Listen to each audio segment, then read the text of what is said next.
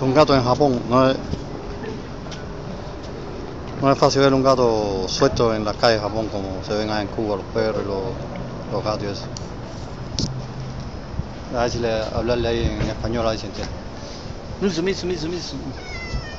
Oh, quitanda. Misu, misu, misu. Misu, misu.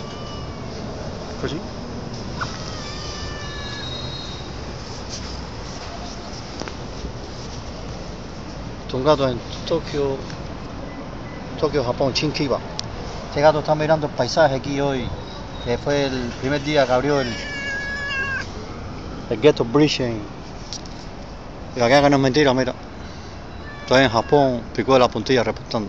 Tengo un gato japonés aquí, vino lo... Entiende español aquí. Se fue para allá, no. Soy de Chinkiba aquí. Pues vine aquí porque fue el primer día que abrió el Gate Bridge. Y había gente cantidad ahí. Hola, hola. Está gordo, come cantidad este gato. Me acuerdo la época en Cuba de comer gato y todo eso. ahí.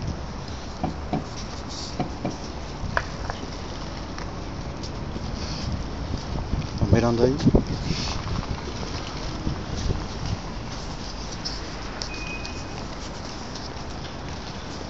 Entonces, sí.